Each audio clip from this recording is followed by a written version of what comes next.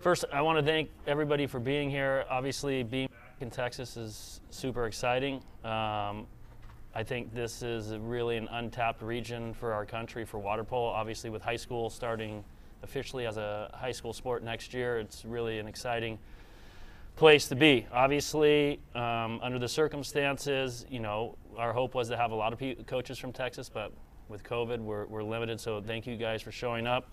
I'm going to take my mask off for this, and I uh, thank you guys for keeping yours on. So I think first, it's important to note, you know, this isn't uh, Adam Wright's creation or philosophy. This is really a compilation uh, of, I guess, my water polo life, um, starting uh, and, and, the coaches who I've been under and affected me, and my teammates and people that I've coached with, starting with age group. Some of the most important lessons I've learned uh, as an athlete and as a coach started back in Long Beach at age group.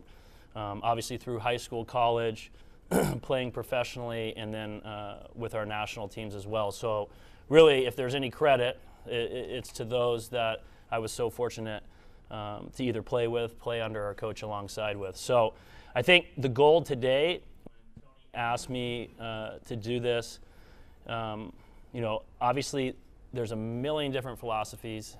One philosophy is right or wrong. Um, my goal is to cover, uh, and, and, my belief is, is the fundamental aspect, keeping the game simple, um, is what can potentially put you in a position to be successful. So my goal today is to cover uh, the three phases of the game and try to simplify it. So trying to simplify the game uh, of water polo.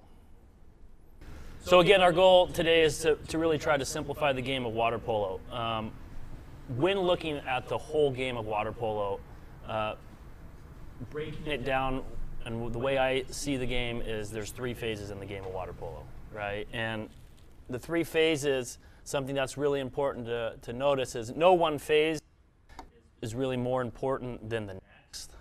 Um, any one of these given phases, an action in any one of these given phases can absolutely have a positive and or negative effect to the next phase. Um, and to go through these phases, so we have front court D, front court O, transition D, transition O, five on six, six on five.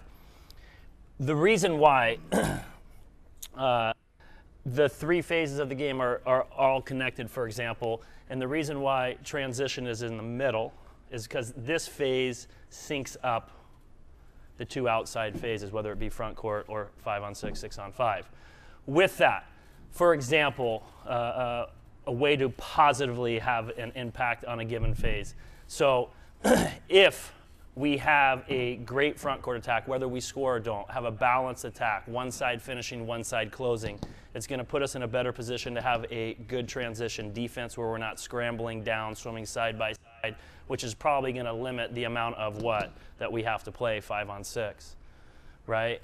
And on the flip side, if we have a great counter, we're probably putting the our opponent on their heels and they're scrambling which puts us in a position, if we have a great counter with great structure, to get into a great front court with good balance, or maybe we catch them at the end of the transition going into the front court, and then we have a higher probability of playing six on five. So that's the way uh, you know I break down the game into those three phases. Um, you know, a couple things on the game of water polo. I believe, without a doubt, it's the hardest game to play in the world, and uh, uh, the, the, reality is, is we always talk about wanting to try to play an efficient game. When you're playing the hardest game in the world, the more efficient you can be, right, means the more oxygen per se you can have in your brain and the better decision making you can make, for example. So today, we're going to do a brief overview of each phase of the game. And, you know, I think some things that are important to note. The game of water polo, too, and I always remember uh, from one of my coaches, Ratko Rudic, he, he always equated it to the game of chess, right? And, and water polo is like a game of chess because not only are you plotting your given move, but you better be preparing your next two to three moves after that so you can go in for the kill. You know, and one thing as a player and as a coach um, that I think we've all been a part of is, you know, the game really never ends. And, and, and, and we'll talk about this. One of the most vulnerable periods of time in the game of water polo is when you're in the transition period from one phase to the next, whether it be a mental letdown or a physical letdown. And the game never truly ends. As soon as you think you're in a good position, you're not. And, uh, uh, and, and, and so many times in so many different team sports as well. As soon as a team thinks they have it, and in the last five seconds, it's happened to us on the highest of levels at the NC2A finals, just when you think you got it, it gets away. So, I think uh, the first phase and, and, and the, the, the part that I'm going to spend more time on today because I feel like um, that's where we can really have a deeper dialogue. You know, everybody has their specific tactics in a front court or a five on six or a six on five. So we're really going to spend more time today on this middle phase, the transition phase. And I, I, and, and, and I really believe, again, I said no one phase is more important than the other, but this phase is critical because if, if you're good in this area, you're going to put yourselves in good positions on the two uh, phases out on the outside. So, starting with transition, uh, a couple rules or standards um, that I think are really important to apply, right? First, the counterattack. Okay, your counterattack defense always starts with your attack. It starts in your attack, and I'm sure everybody has heard this before some key things. Obviously, in your attack, you really want to limit turnovers or lost balls. Those can lead to counterattacks the other way. Also, being proactive. Everybody, you have to be proactive, especially on the perimeter, making sure you're putting yourself in a good position. There's so many dynamic players now. If you let your guard down for one second, they're going to grab you and they're going to be gone. So, being in a proactive and good position. Some key things we always talk about. It's a classic mistake in the game of water polo. You'll see probably this weekend all the time. People always watching their individual shots or a teammate's shot or watching a ball go into the center. And the reality is, is the game of water polo is a game of inches. It's a game of less than seconds. I watch a ball go into the center, my player stays with me, for example, and I'm watching, he has the ability to do what? To capture my arm, for example, and now maybe he's got a one on nobody. Or I'm watching my shot or my teammate shot in the same situation. No side by side swimming we, we you know, uh, we know, okay? All of us have seen, you know, when you let a referee, right? And, and, and it's a hard game to call as an official. They might not see the first action and they see the second action. And, but I always equate it to it's the player's fault for putting yourself into that position. So we say when possible, we want to sprint and get at least five meters out in front. So if I'm on defense and the goal's behind me, I want to be five meters out in front of my opponent. If I swim side by side, so many different things can happen, right? Whether they grab you, duck under. The referee may not be watching that part of the court, and when they bring their attention back, all of a sudden, now you're out. And we don't want to take ejections in the transition. So we want to get out in front, on our back. If we can be on our back, the one thing we know is when we're on our back, our eyeballs are up and we have vision of everything, and we also have the ability to communicate. Then also with defense, and we'll get into that a little bit more. Obviously, you know, you really don't want to give up a one on nobody uh, or any sort of first line counter, but at a certain point, you're going to start working in unison as a team. And how you work in unison, how you begin that work early in the transition, right? We know in the game of water polo, the more passes, the more risk. You know, an age group and all these le- different levels, we always hear make the extra pass. But the extra pass, if you think about it, is dangerous don't know. What if your player has sunscreen on his hand? Whoop, and the ball's gone. Why, why make a pass if you don't have to make a pass? So the more passes we can make a team make, the greater chance that they're going to make a mistake. Also, we know the more times the ball is being passed left to right, right to left, the slower their progress is going down the pool. Okay, then also first line defenders, and we'll talk about first line and second line. But first line defenders, your goal when there's a back line counter or second line counter, you know, there's so many opportunities where there's teams where if they don't have an advantage on the first line, a, uh, a one on nobody, a two on one, or a three on two, those players' commitment aren't at a level to get down the pool with 100% speed. So you have the ability, if you're a first line defender, to maybe slow down somebody who's coming on the back second line, a four on three, five on four, or six on five. We never want to cheat so much off the first line that we would allow a first line slam dunk because what's a higher percentage, a three on two or a four on three? Uh, and then also, we will absolutely, we'll go through these things, we absolutely have the ability to dictate on defense and by the way we attack in unison where we want the ball to be shot from. right? And then, you know, every every coach, every team, you know, it's really important there's some sort of common language, right? Right means whether it's the goalie's right or left, but everybody has to understand what right means and left means. So having having a common language is really really critical. You know, the last thing you want to do is have one player on their back and one on their stomach, and you say right, and they're going two different ways. Uh, always, when we communicate, it's got to be loud, clear, and direct. You know, especially a lot of times it's your center, a lot of times coming up out of the backcourt, they're tired. Also, pointing is key. And then, you know, uh, with our teams, we talk about no matter the distance we're down, we're going to chase hard every time, 100%. Bottom line is, you don't want to give up counter goals. Bottom line is, if you give up first line counter goals, you're putting yourself in a tough position to be successful in the game. Then, how we finish at the end of our counter, right? The classic mistake is I told you that one of the most vulnerable periods in water polo as as you end transition defense and you get into your front court defense, there's a letdown or where you end, where your body position is. If you end side by side and that player's faster, now he's got an opportunity to get inside of you and you're playing six on five before you know it. So we always talk about taking extra strokes, getting to the inside, and getting ready to play great positional defense. Questions on any of that before we go into kind of the nuts and bolts of counterattack?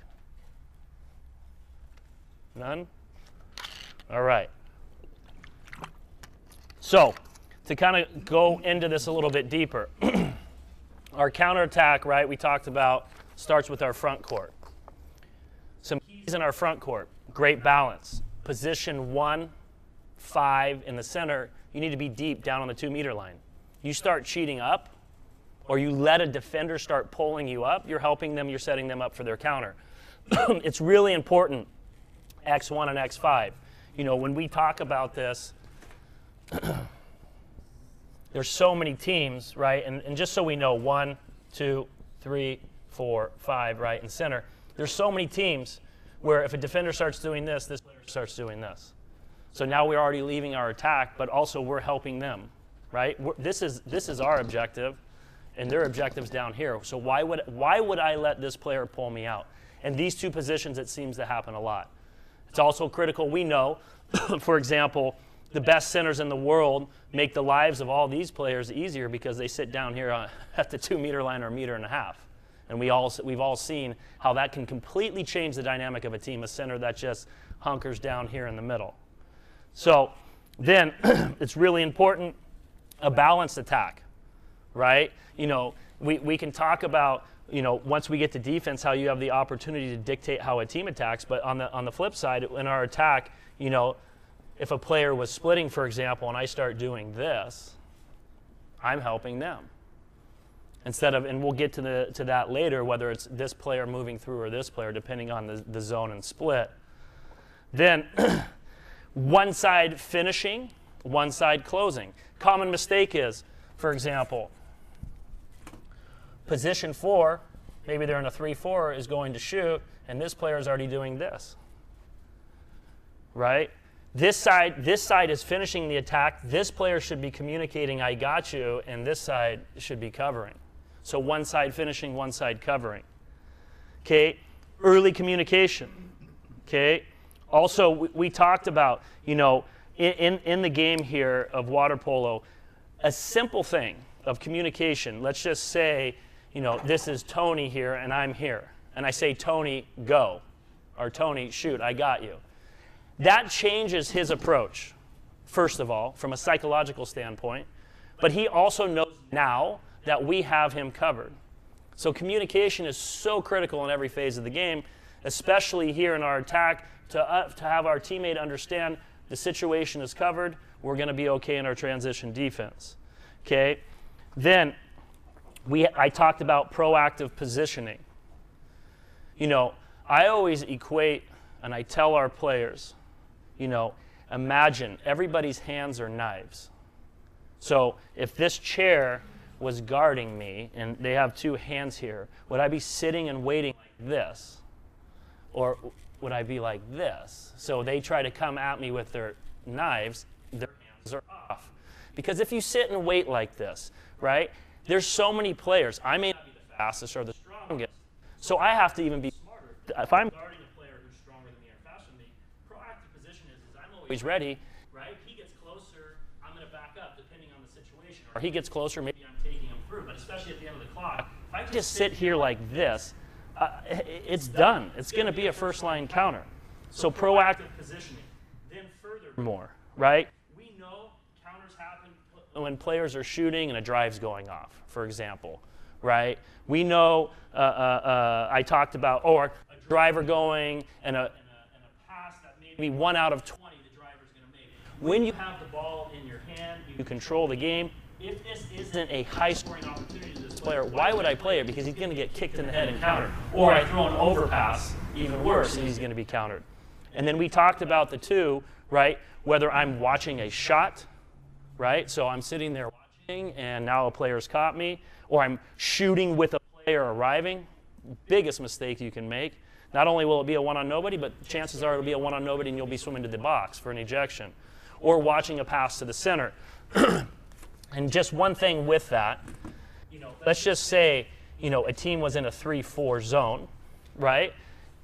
If I'm this player, right, and ball goes into, and I, I'm attacking, ball goes into the center, and this player actually stays out on me, I should immediately be doing what? Backing up.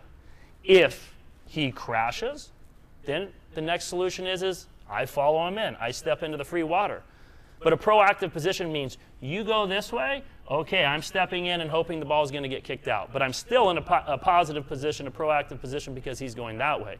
If he stays out on you, now you better back up because now you're putting yourself in a position of danger if you don't. Uh, then obviously, every team, you know, consists of different level of players, IQs, but you know, you you need to have those coaches in the water. A smart player with great awareness can absolutely change the situation, right? Whether it's in your front court or in this case, talking transition defense, by what they see early, what they're communicating to their teammates, how, how they communicate to their teammates. But the, the, the bottom line is just the simple thing.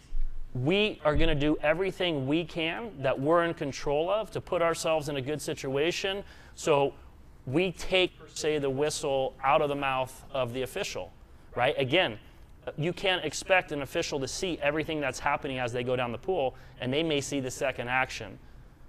So, then, uh, as far as once we get into the transition, we talked about getting ourselves into a safe position, getting out in front by several meters. We said five meters, right? A, that's going to put you in a position where there's no duck under, there's no grabbing. You know, the one thing I know from being on the women's side now is I believe women, the women's water polo and the players in women's water polo even have to be more fundamentally sound because there's one huge difference the suit. Everything is revolved around the suit. And if you put yourself in a bad position in women's water polo, you're going to get grabbed 110%. So getting out in front takes that away, right? Then also early awareness, right? Early awareness is critical. Knowing where our disadvantage is, right? And, and again, we'll get into that a little bit later, but you know, we really don't want to give anything off the top. But having early awareness, gives you the ability to start dictating where you want the ball to be finishing with. Okay? A couple rules we talk about. If you're not beat, you should be out in front on your back. Having your eyeballs up, like we said, it gives you the ability to communicate. Obviously, if you're beat, you're trying to sprint, cover to a safe position, and able to get back on your back. Um, and then, again, you know, when we arrive all the way at the end of the transition. It's a classic mistake. A lot, most players, if you watch any video, they're arriving into the vertical position. If you're guarding a dynamic player, they're going to be on their way uh, uh, getting inside. Now we're playing uh, not an efficient game and probably playing a lot of five on six. So we're going to get real quick first counters. I don't know if anybody has any questions on any of that. No? So, oh boy. Oh boy. All right, we're gonna. It's gonna become a Picasso here. So, um, four first line counters, and and and just so we can establish.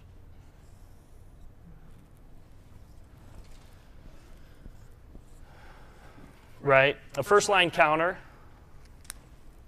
obviously is coming either from X2, X3, or X4. Do you think this is a permanent pin? Is that the problem? Okay. All right. Well, let's see if that's the case. Hey, it's that guy's fault.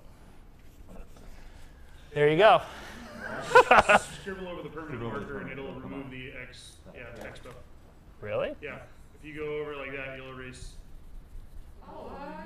You guys know that? Hey, you're Wow. Yeah. Game Wow. Well, actually, we can start over there with that one. It's, can you see that side of the board? So, dude, what a. You want to pause and Do you want to do you want to pause it real quick and we'll erase it? Um, yeah. Go over it, you don't have to scribble, just go over it. Best you can. I mean, Well, you know what? We can. I'll just let's just worry about this down below, and I'll just we'll just leave that up. That's easy. leave this up. Yeah, and I can leave that goal. We can leave those goals. Totally gave us flip chart markers. Wow. They're what? Flip chart markers, like marker markers, not dry erase. Uh, Take those away. Wow. I thought everybody did that hack. yeah, I thought so too. Give him a scented marker. Yeah, Oh. we want to up the marker. All right. You got uh, grape over there? You got, you got great. Oh shit. Got passion fruit? Better. Right? At some point. It's lemon. Fresh lemon. Yeah. It's Put not it right pine salt lemon. I told lemon it's different. That's lemon. Come off with some water. Yeah, I'll leave these. I think we're in business, right? Boom. And that's in the frame. That would be this morning. Where's she at last night? There we go, that's a fresh board right there. You're doing great, Adam. Keep it up. Back to back to the basics, kindergarten here. All right. so you tell me when. Three, two, one. So first line counters, obviously, we know first line counters, they come from either X2, X3, or X4.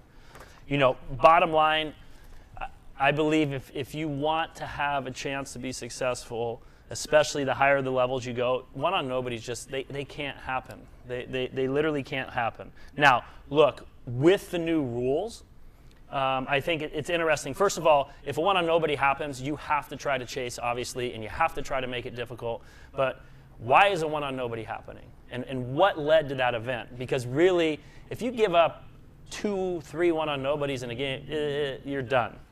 But you know, a couple things that we've been playing around with, for example, with the, the, the six meter line now. And, and, and my understanding is the way they're going to call it I was just thinking if you're inside six meters and you touch somebody, it's a penalty immediately, but I, it's not, it's not going to be as easy as that, I guess. But some interesting debates that we've been playing around with, right? So if, if that was the case, and this is a right hand coming down the right side, for example, right? A lot of times you try to chase to the inside and go this way, right? But the, the problem now is, is if you go this way, you're, you're allowing this hand. So maybe it's opposite, right? Where you're working this way, where maybe they have to spin across the goal, for example. That's just something we've been kind of playing around with uh, as far as the six meter rule, because if it's going to be called where if you touch somebody at all and it's a penalty, then you want to try, just like with the previous rules, to make this as difficult as possible.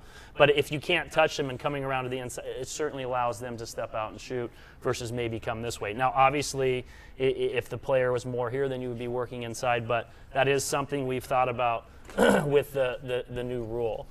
Um, but again, one on nobodies, you're putting your team in a difficult position, right? Then when we talk about two on ones, right? The, you know, the reality with all these first line counters, right? We want to try, depending on if it's here or here, sprinting, getting out on our back. Our objective is to try to keep the ball in the goal as long as possible, right? And, and the reality here is, is the longer we can keep it in here, the less time for decision making down here. Obviously, the longer we can keep it in here, no goalie wants to have to make that hard pass the further they get down the pool, right? Obviously, you're in communication with your trailing defender. Goalies in communication usually with that lead defender. Our goals on a counter, whether it be a first line or a back line, right? They're, I call it the line to the goal, right? The fastest route to the goal.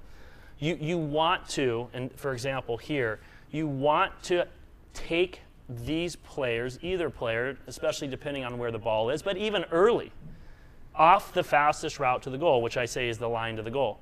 So if I can make them go like this and this, or even further, that's going to allow more time for our trailing player to catch up, as we know.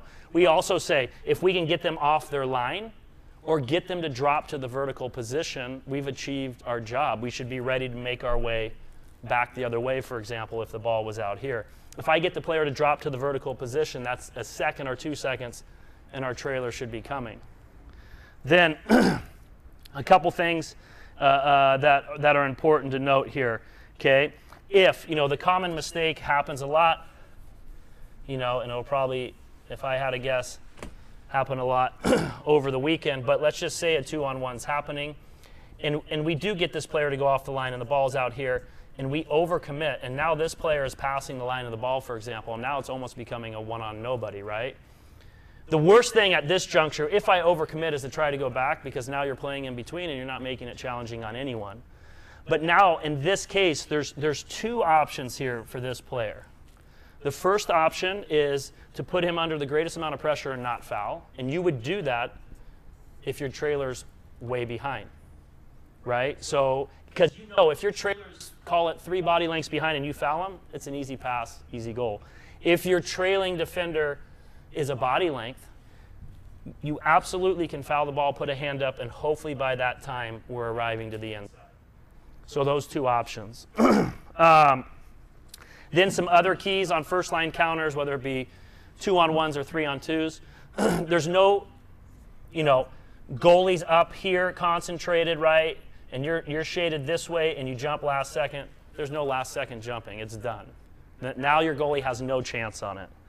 Okay, Obviously, the trailer, it's critical how you swim, breakout speed.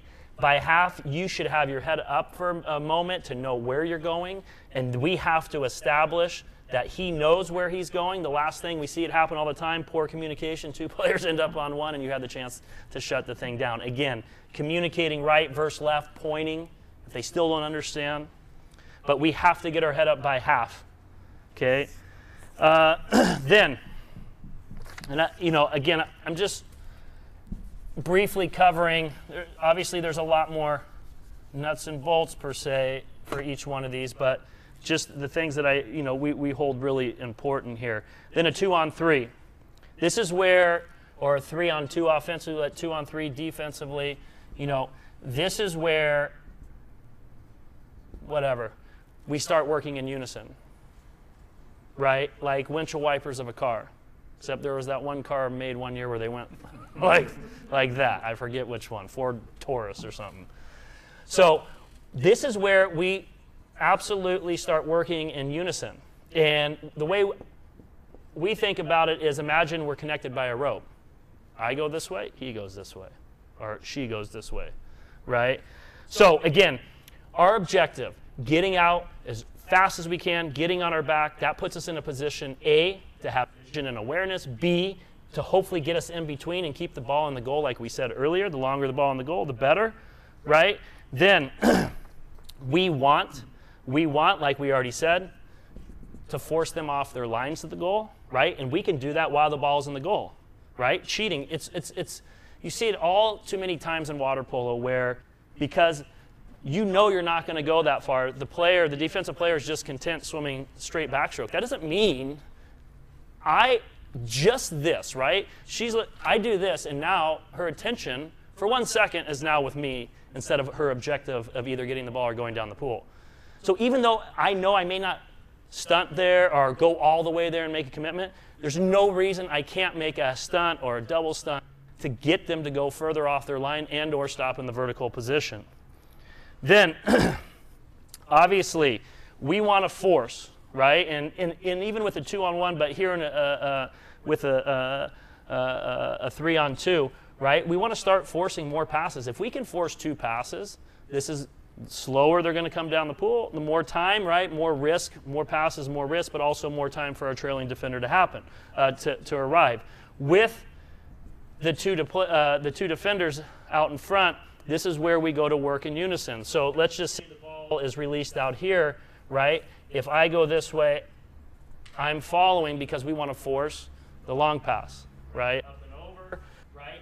If I've gotten this player to go off the line or stop in the vertical, like I said with the two on one, then you've done your job and you're ready to make your way back. Once we force the long pass, obviously we're recovering this way, and if we can get it one more time, we're in business.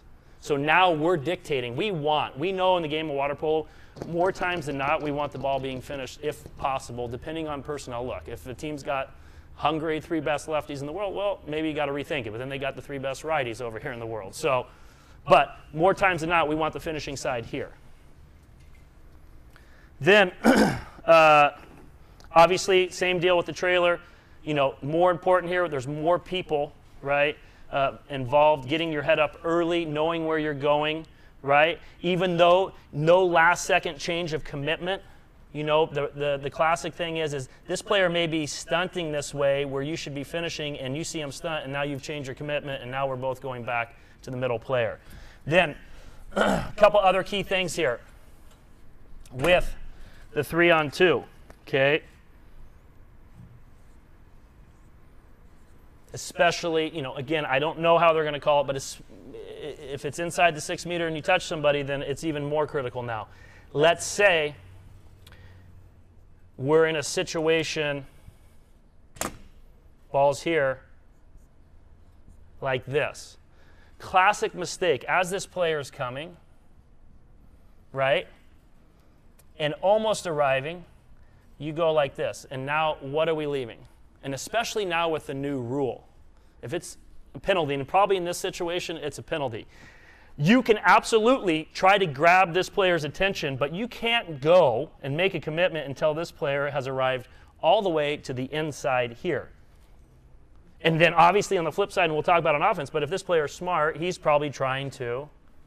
But in theory, this could be helpful, right? He's bringing you closer to your next responsibility. So, classic mistake in water polo, you know, most of the times trailers are ending here, but when they do end in the middle, they jump, and now you got an inside penalty ball. Okay? Then, questions on any first line counters? Back up a little bit, say before half tank, um, in a situation where you're looking at top lines all righties, you kind of knowing that allow the ball to come out going to be the one-two side, so you can shift over and immediately have a ball you know is going to be a wet pass on the four-five side. Or do You mean let the ball out over here? let it out over there because you know you're going to shift over. I mean, do you start thinking You, about yeah, that? you know, well, you- here's the deal. Absolutely. That's one way to dictate that, right? Then it's just one shift, ball over. Now, ideally, if we can if we can force two, we're in business.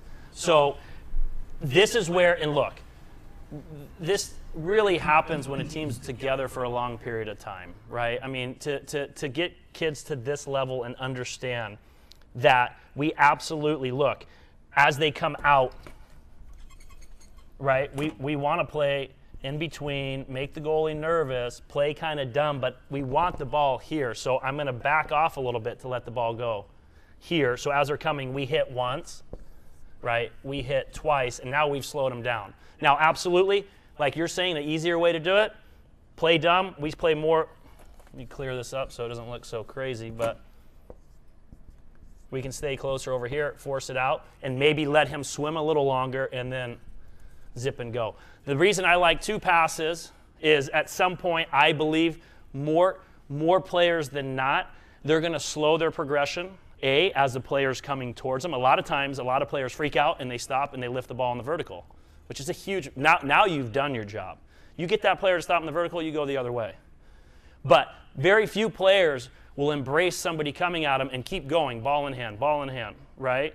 But we know at some juncture, if they have to stop to make this pass and stop to make this pass, we've, we've made more time for our trailing defender to arrive. But you absolutely, that is, you can dictate it either way. Other questions? I just want to make sure I've covered everything here. No? And look, again, I, I think these are all things that you guys know. I, I can tell you this these are the exact same things, whether it had been with uh, national team or with coaches from Recco uh, that Tony and myself play. It's really, you, the, the game of water polo is not about tricks. It's not a tricky, hard, you, it's a simple game. And you really try to simplify it to the, the, the smallest degree. And when for your players, it becomes much easier to play per se. Of course, every team you need to have timeout plays and uh, uh, certain schemes or tactics. Um, but again, you know, probably some of you are going, "Wow, this is pretty much stuff that we've heard," but this is this is what we hold most dear, no matter the level, whether it be age group or college, or quite frankly, all my experiences internationally or with our national team. So, then, uh, oop, make sure I'm not on the wrong page here. So, second line counters or back line. So, we talked about a first line counter, X2, X3, or X4. Back line's coming, X1, center defender, X5. So, this is the first, this is the second. And, and I don't want to be confusing, but I know I'll say it. I won't always reference this as second. I'll say back or front. Okay? Then, the, you know, the, the, the easy thing to do and understand, and we'll, and we'll talk about it more on offense, but a second line counter, whether it be offense or defensively, is the same as a first line counter. The only difference now with a second line counter is you have three more players involved per se that hopefully are all the way down, and we'll talk about that on offense. Okay, from a defensive standpoint, okay, uh, uh, having help per se off the first line could be crucial. And there's a lot of situations, especially when there's a righty down here, and we'll talk about those things. But you know, if there's not great separation between your first line and second line, now these defenders can come into play and help slow down the advantage here for our trailing defender. So everybody understands a four on uh, or a three versus four counter defensively or a four on three, right, is the same as a one on nobody. But you have these three players that should be already be down. Just like a, uh, a five on four is the same as a two on one, and a six on five is the same as a three on two. It's the exact same thing. So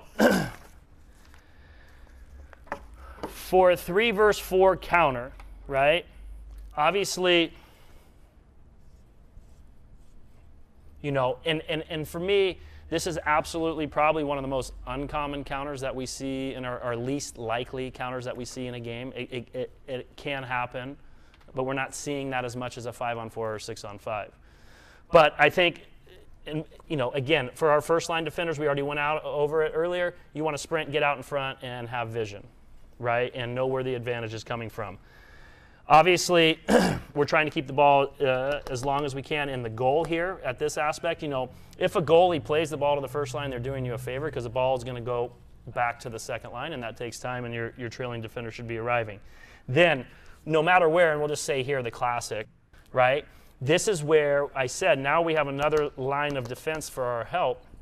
If these two lines are close, then that gives this player, for in this instant, maybe the ability to slow down the progression of the player coming on the second line. Now, what we said too is, is this player can never overcommit so far and leave a three on two, for example, behind them, or an easy slam dunk. Okay? Then, you know, as they come down, obviously this player, you, you know where you're going. You're, you're not going to commit more than likely to a first line. I don't really know any example that you would do that. You're going to be arriving probably to the second line player because that's the closest player, right? As these players come down,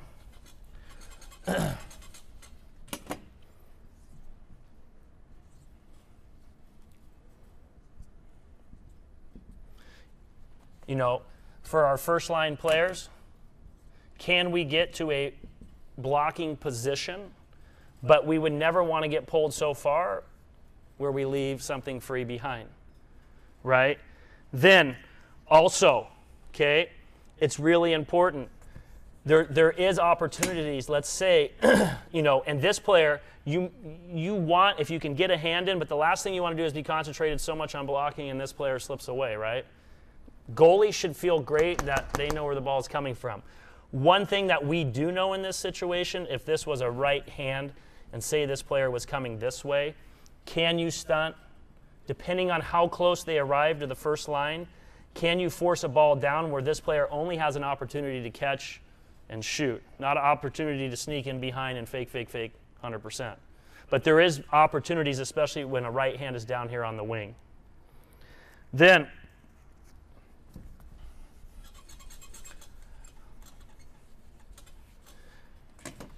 five on uh, uh, five on four or four on five, right? I'm not going to repeat. First line, we're out in front, right, on our back, sprinting. Again, now, now we know this is the exact same as a two on one. A lot of times we know that this can happen. There's a lot of teams that like to play pressing, right? So, say ball comes out to the right, for example, and press, press, they're pressing, and the center defender is passing the line of the ball. So this is now, and he should be opening towards the ball, and we'll talk about that. But now this is turned into a classic five on four. They've overcommitted, overpressed, and now they're leaving a five on four solution. Also, we know that this can come off. In the college game, we know there's a lot of posting up going on. Maybe these two players, and you know, the center defenders already beat this out, and these two players are not even in the mix anymore, whether it be a post up from, you know, on the two post or three post. So we know, bottom line, five on four is the same as a two on one, right? So again, if there's an opportunity because the first line isn't swimming uh, fast to slow down the second line, great, but we're never going to leave a first line counter by overcommitting. So, and again, as, as these players, or let's just say the ball's here and we're opening, and we're opening, right? It's now a two on one situation with a trailer here. And now it goes back to the same concepts. Can, can you know, again, a lot of times we want to force the shot from the right side. So depending on where it's happening in the pool, where I'm at in the pool, if it's early, I might be able to force one pass and recover. If it's late, right, I'm going to stunt, stunt, stunt, but I know I'm going to work my way this way. And again, it goes back to the same communication we talked about on a two on one and, and telling early and knowing early where we're going. And, and for me, the, the, the real the important thing here too is, is a lot of times these backline counters are developing later, meaning after half, especially on a five on four. So that's where going back to what Trent said, you, you, you may have to change how you dictate where you want the shot from. You may not have the ability or time to force two passes. So it's working, working, hoping he's coming, and go. And now if it's early, I can force him to play the ball once and twice. Then again, one thing I said uh, I didn't say with uh, uh, four on three, but same as a five on four, we're playing above if we can, obviously, because otherwise, if we're behind early ball in, one of the best opportunities in water polo, right at the end of the transition, ball in, and then some sort of potential two on one situation after an exclusion. Then, uh,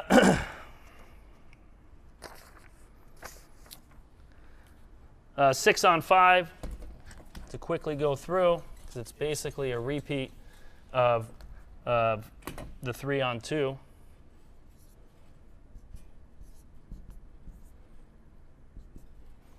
It's the same principles. Early, we can force two passes. Late, we're, we're stunning, stunning, ready to recover.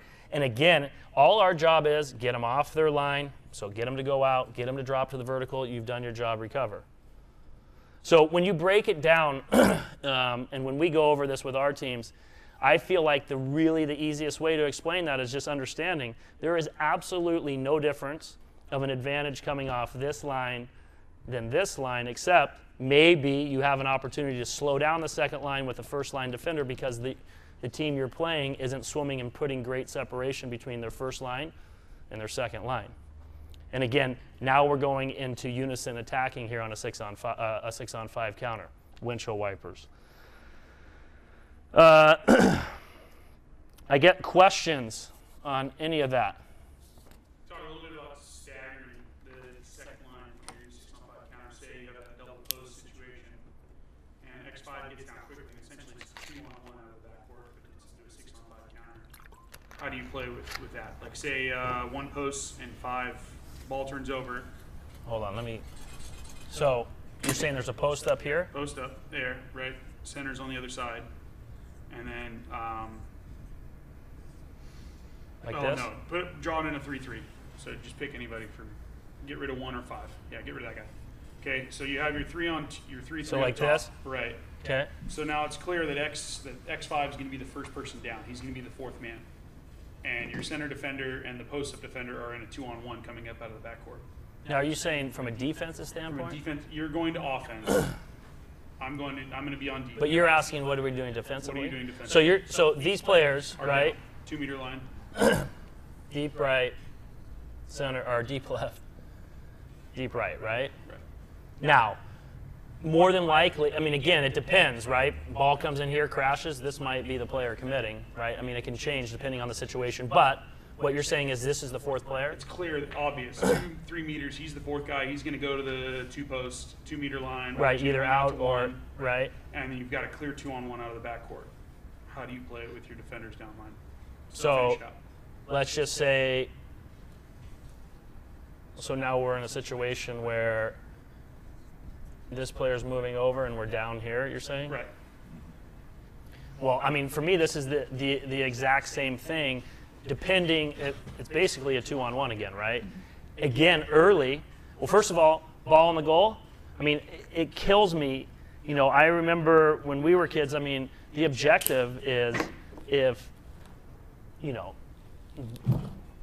and I'm in the middle, I'm like this. It's playing cat and mouse early, right?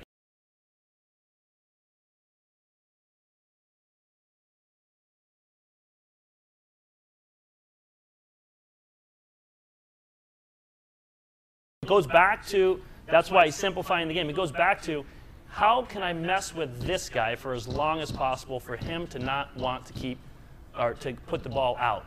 But then, and we'll talk about that when we get to offense. There's nothing worse for a goalie, two players swimming like this. At some point, you have to open to give comfort.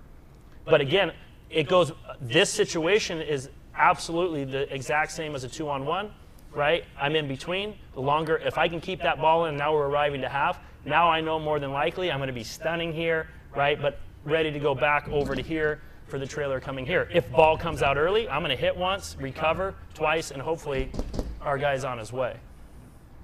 And again, we'll watch video, but there will, I can assure you, be moments where this guy isn't committing down the way he can. So you may even have help over here because this guy's taking his time. Oh, we don't have a counter, so I'm not going to go hard. And, and, and that becomes, uh, and we'll talk about on the offensive side, how important these guys are on the first line, even though there's not an advantage on the first line. They absolutely are the key to the success of the second line. So, again, I would play this the exact same as a two on one or a one versus two. Questions? so, I think just, I mean, if you think about it, it's, it's pretty straightforward. Sprinting, getting out on your back, how long can we keep the ball on the goal? Do we have time to force multiple passes, or is it a stunting, slowing down, slowing, slowing, and then recovering?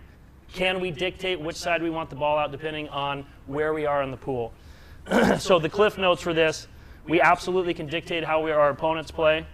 Okay, we do this by having a great balanced front court, one side finishing, one side closing. We do it by getting out early on our transition defense, getting on our back, not watching balls going to the center or shots or shooting with somebody arriving. If we're out in front early, then we have the ability to start dictating what the, uh, the transition offensive team is doing. Okay.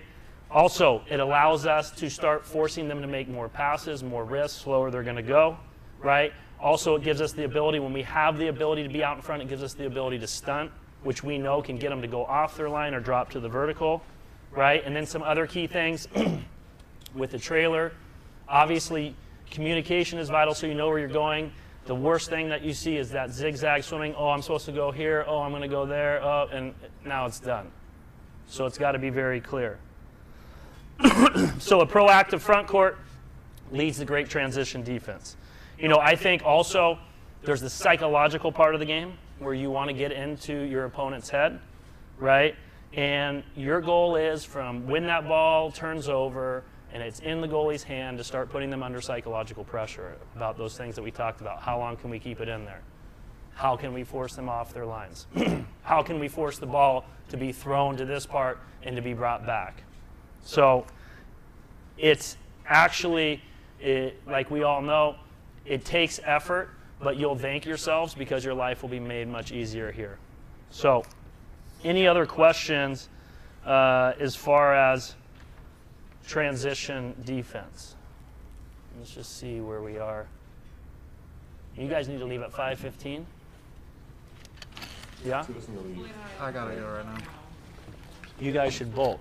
Maybe we'll just go. Maybe we'll cut this in half. What do you think? Half today, half tomorrow. Does that work? So then we'll go trans. Then we'll just start with front court defense and stop there. How's that work?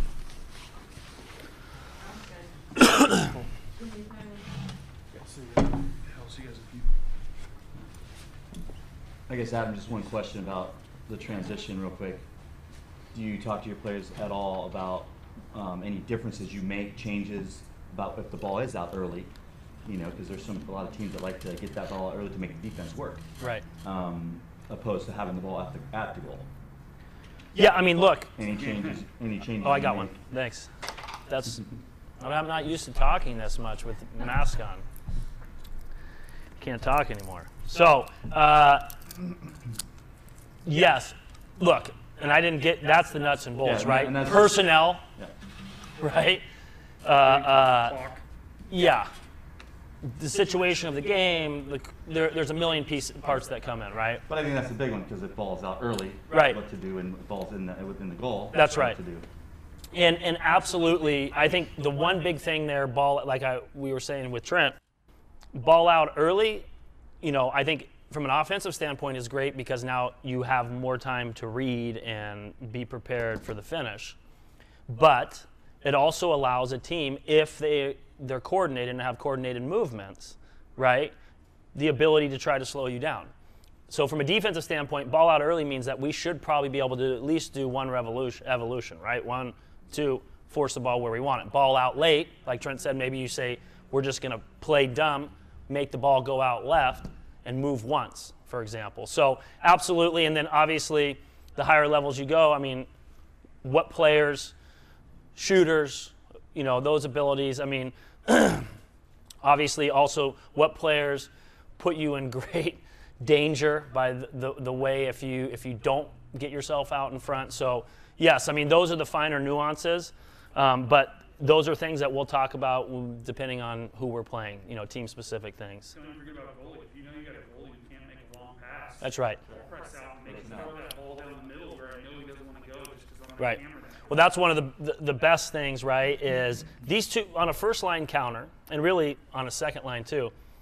I would suggest these two players are kind of cheating out a little bit more here, right? That puts more pressure here, right? But those are the things where, you know, I, I, I was thinking about this. I don't want to go in too much because every coach has their own philosophies, but I would. That playing a ball here with two people surrounding them is more dangerous per se than us being in here and putting an easy ball out for sure. So um, then next the next phase, um, and let me just pull up one thing here.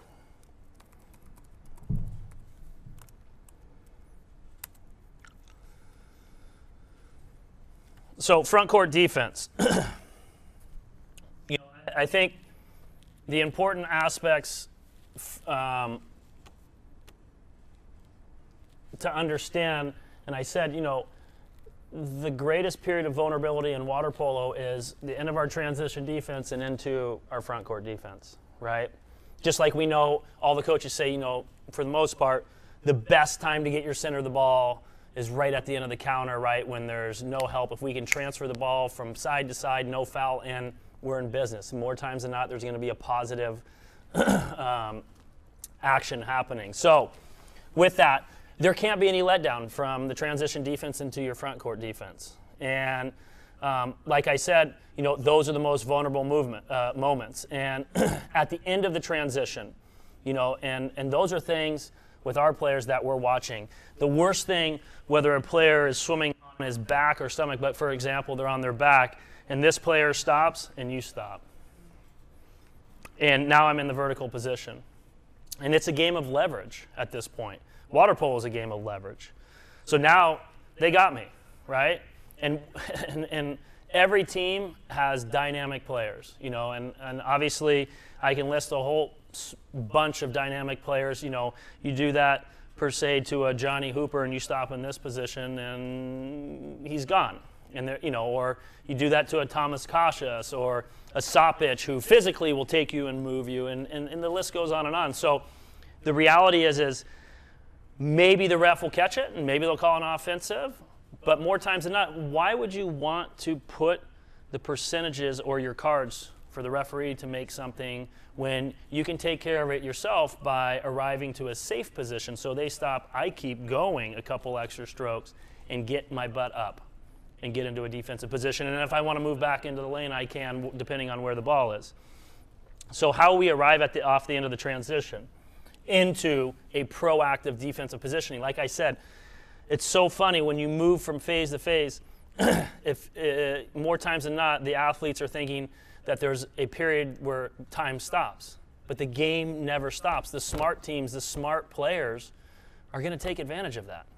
So, how you end off the end of the counter, okay?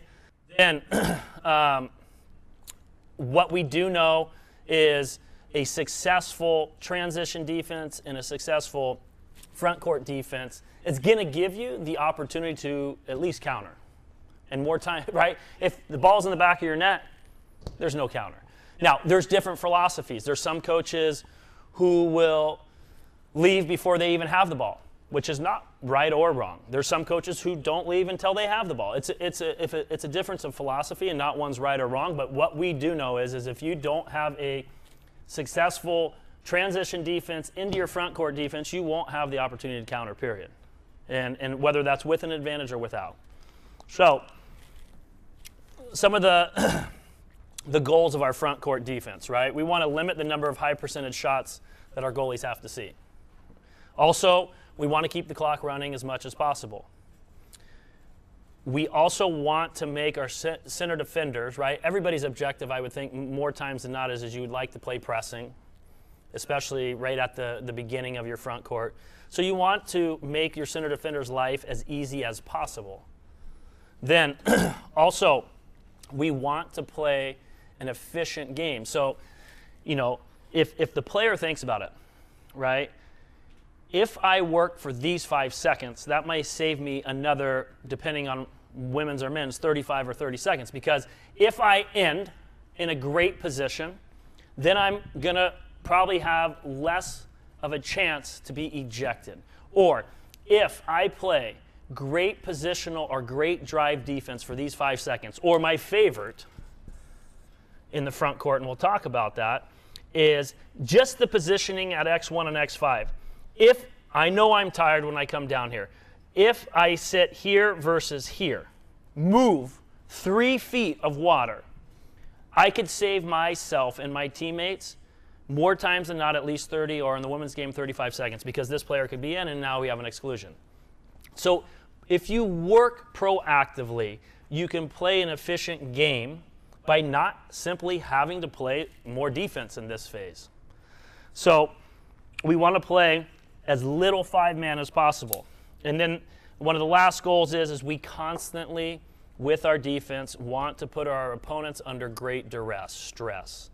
Right? So some of our front court defensive standards starts with our offense having a balanced attack, our awareness, we always know where the ball is, our player, the area, what's going on in our immediate area, what's going on at the center position, the clocks, and when we get good enough, can we anticipate what the what our opponent's going to do?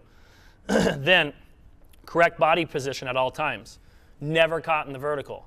The vertical is basically a, a sentence to have to swim to the corner more times than not. So foul only to prevent a goal or a pass that could potentially lead to a center pass or and or to a goal. Okay? Now, depending maybe in a certain situation you're playing, you know, steal the foul or whatever it may be or foul the steal, But we, we, we don't want to stop. We want to keep that clock moving when possible. We also never want to allow a goal from a center or a post up, but that usually always starts, you know, with, like we said, a proactive position. Just this makes your life easier. This probably prevents somebody from swimming in, right? Ball here, for example, and this player going like this, just being here saves him. Being here, and now we're not playing an efficient game anymore. So we don't want to give a goal from the center or post up, and more times than not, you find that action happening, you know, somewhere else in the pool, which leads to that action of a post up or a center goal. Unless we talk about, you know, look, if we have a center post uh, pushed out to five, six meters, then we'll let, let them shoot, even four five meters, depending on who the player is, etc. Then we, you know, one of our philosophies is, is we don't want to go until we know we have the ball per se. Now, again, there's different philosophies. There's people that will go early. There's people that will take that risk, you know. But I, I like I'd like to know before we go we we've secured the ball. Um, then communication is our strongest weapon. Some some basic rules, you know, for pressing and zone defense. This is where we'll move through this quickly because I feel like everybody has different tactics and they're all they're all good and not one's right or wrong. But I feel like just some of the the basic things that are really important to understand. So when we arrive off the counter, okay, we should always, like I said, take extra strokes getting to the inside, and that's dictated by where the ball is. So the ball can't move quickly around, as we know. Um, obviously, the two meter guard or post up player trying to take away ball side immediately at the end of the counter. We're always proactively thinking ball, player, uh, area, center, clocks, anticipation. That means head is constantly. If I go away from my player, I better still be able to check and know that my player hasn't changed his location. Then, when I foul, I want to try to foul through the ball so it denies a quick pass, but also every time I foul, I put my hand up. This, is, this could change. This could be the difference of your year, quite frankly. If I foul somebody, right, and I put my hand up, that absolutely triggers a reaction on the player who you fouled. Should I shoot? Should I pass? If I want to pass to the center, what kind of pass? Because I can tell you, playing against Kásás, for example, foul, right? If you if you if you were like this to this instead of immediately, he had the ability to slide a ball in to Molnar and these players. But if I had this ability, now he has to take a ball that's going up and over, and now either, depending on the location of the center, the goalie or your teammates have the ability to crash. So foul, hand up. Also, we know these players. Uh, uh, okay, Kásás and you know Tony, obviously outside the five meter, but now I guess six meter, right? Foul, you don't put a hand up, and even though the ball's here, and they're whipping this thing off. So this changes the decision making. They have to at least think now for a second: should I or shouldn't I? So we always talk as soon as you foul, hand up. Then, in a press, the ball should only move position by position, which you guys know. The ball should go one to two, so that allows our center defender time to readjust. It can't go two to four, we know. Then, no live balls, right? No live balls to the center. A live ball, four to two and in, we know. It's a positive thing. Either some sort of shot, penalty, exclusion. Then we, we always say, you know, that's why I said an efficient game There is a seventh, or I shall say eighth, defender, which is the two meter line. And, and, and for me, it's one of the hardest things to get through to somebody. There, this, th- we have to understand. Now, I guess on some after goal plays there may be a lefty, but this guy, all he needs is this and into the center, his right hand. This, you have this to help you.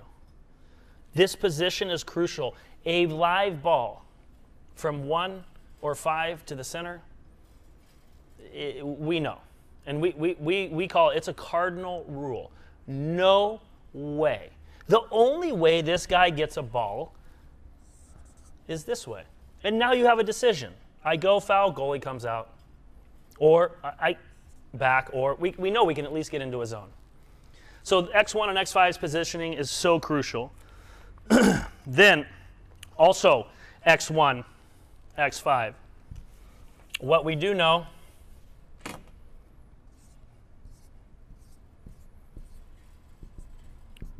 is your helpers for drives. Now, I know there's some teams, again, I'm not getting into the tactical part. There's teams that switch. There's teams that absolutely, you know, if they're beat, this player immediately goes here, this player goes here.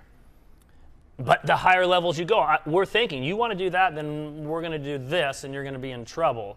I mean, my belief is, especially for the younger players, you're trying to create a mentality.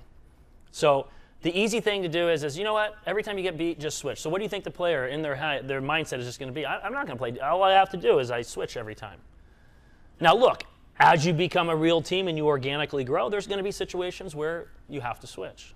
But I believe to really create a defensive-minded player, their thought process: we don't switch. Period.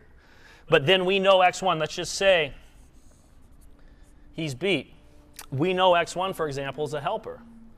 But how we help is so crucial. We know most places, most people, immediately they see this, they go straight back. Right? Now, this is open to things, right? This player can step in. But also, I have, depending on how I do this movement, right? I have the ability to, let's just say they're in a 3 4 zone, to put the fear in this player should I or shouldn't I throw this ball while maintaining a passing lane to here. And so, for example, if that's x1 and this is 2b, and I'm here at x1, the classic mistake is to go straight back here. The way it should happen is, is I'm here in a proactive position. All I'm doing is opening my left shoulder in my left hip. So I am in a position. I can't tell you. The players always ask, how far should I go? You should go as far as you can recover. Every player moves different distances, right? But I know I don't need to be here. There's no reason. Also, here means, guess what? Now we probably have to do what? Switch. And now I'm in a bad position to potentially be posted up. So, how we help here on the wings, I'm in my initial X1 position. Instead of doing this, now what are we always thinking on defense? Ball, man. I don't have what vision of who now? My man. So I open up my left shoulder and I'm working on an arc here where I'm on my legs. I have vision here. Johnny has the ball over there at four.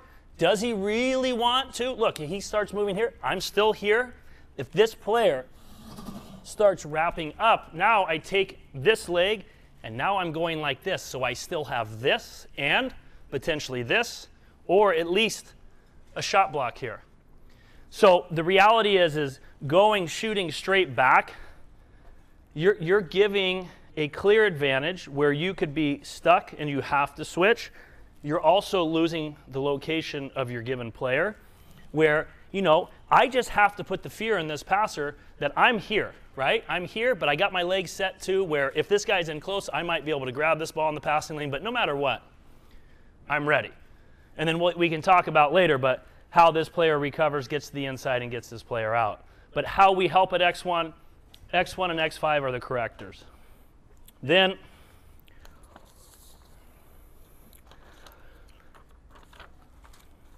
and we're, we're going to finish up and stop with this, but how, so how we're working on this arc, how I show my hands and recover to the inside, the classic thing on drive defense. As the driver slows down, the players who's beat slows down. It's incredible. A lot of times when these drivers open, they stop. And this player slows down. Instead of, if I just keep swimming, I'll arrive because this ball is coming from one of these three positions. So I arrive, so players stopping here, I arrive all the way to here, and it doesn't end. Because now we know that potentially this player has the ability. I get all the way here to the inside. And now my next job, if there's no ball there, I need to push this guy out especially in the first three, four seconds, I put pressure on him, then he's probably not going to stay in and post up. Then, again, you know, I talked about really the one time that you probably would switch is if you help like this and you get hit here, then you're going this way. But again, you're putting yourself in a vulnerable position. this ball can come immediately in. So then, how you choose to play drive defense is up to you. You know, we, we've used always a counter rotation, which allows you to have your eyes on the ball and the center, right? Versus if this player moves and I just swim like this, now I have no clue where the ball is, or maybe a ball that's being played to the center. We also, our objective in a press, the ball's here. We want to force the drives obviously straight down, away from the ball. Then, um, obviously, in a press, when we're pressing and we are beat on a drive, how we recover with what kind of urgency. But if we're truly pressing, then the ball should be under pressure and that shouldn't be an easy pass. Okay, then obviously we know, especially now, and again, I, I, I want to keep saying five meters, but it's changed. You know, X3 is so critical. I mean, basically, these players now are all centers, right? They're all fighting for the six meter line. So X3 has three responsibilities. Best shooter in the world trying to work, he's got to know. Best shooter in the world trying to work, he's got to know. And then obviously, got to know what's going on at the center position. So X3 is critical. X2 and X4, how you communicate with X3, is obviously also really critical. Then, uh, then obviously the communication of how we stay in a press, right, can be with goalie. A lot of times our defenders in full combat, so they can't say anything, but if we're in the right position here, we should have vision of everything. X1, X5 can be communicators. We, you know, it's, it happens all too much where teams just immediately fall out of a press when you don't really need to. If you just stay on for a second longer, your defender can make his way. But we fall back and we let him off the hook.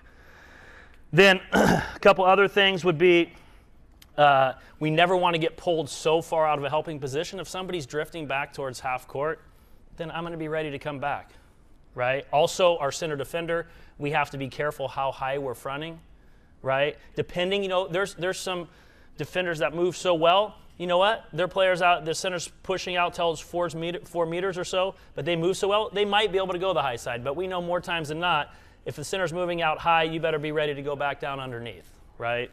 Um, then, in a press, if the ball's to the center, everybody's got to be ready to crash. You know, I know this for us specifically.